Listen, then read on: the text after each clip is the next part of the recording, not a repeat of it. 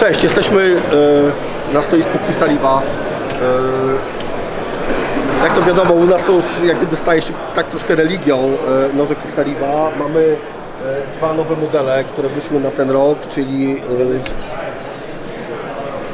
to zaraz pokażemy, bo to jest po prostu pokazówka. Tu jest nóż, który nie ma blokady, czyli tak naprawdę można go używać w większości miejsc, gdzie w ogóle można nosić nóż, bo po prostu jak gdyby ostrze nie posiada blokady. E, S, e, tak? standardowo, jak opisałem, S35 Titan, czyli S35 i Tytan, sorry. E, oczywiście klips również tytanowy, mały, lekki, E, Tu macie przykład, w jaki sposób jest zorganizowana blokada, tak? Czyli po prostu mamy sprężynę.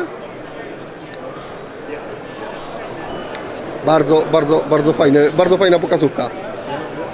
No i oczywiście yy, Sebenza. I like it so much. Uwielbiam ją.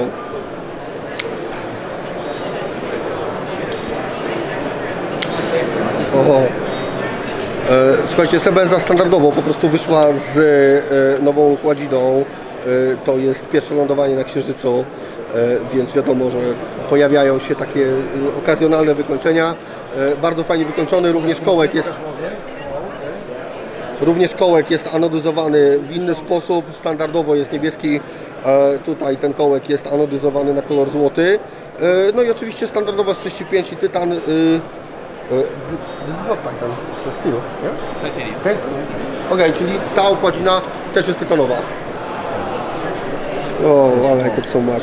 Pokaż tą pokazówkę ewentualnie, tak żeby zobaczyć jak to funkcjonuje. Co? Tą pokazówkę ewentualnie, ale pokażę jeszcze raz jak to funkcjonuje.